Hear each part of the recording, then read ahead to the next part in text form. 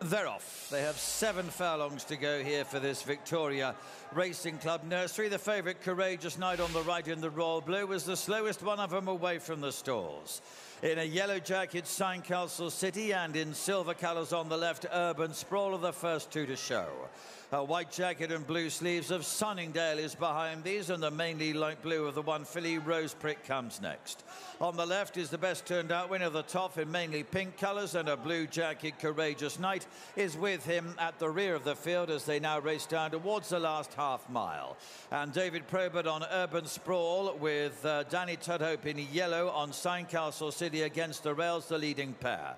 Danny Muscutt on Sunningdale is a length and a half behind those. Then Saffie Osborne in light blue on Rose Prick, a pink jacket Ray Dawson. The Toff and Ryan Moore in royal blue on Courageous Knight continues to be the back marker as they make their way with just over two furlongs to go. Urban Sprawl continues to be bam. They're in contention with on the right side Castle City. On the extreme right is Rose Prick coming for a run against the rails and getting it as well. One from the left is Courageous Knight trying to get into it. Sunningdale is still there. It's Urban Sprawl under pressure in front but holding on at the moment. Sunningdale and Rose Prick either side are trying to throw out challenges. Courageous Knight is behind those. A great battle here between three of them here. Blue sleeves of Sunningdale, the silver jacket, Urban Sprawl, the light blue Rose Prick.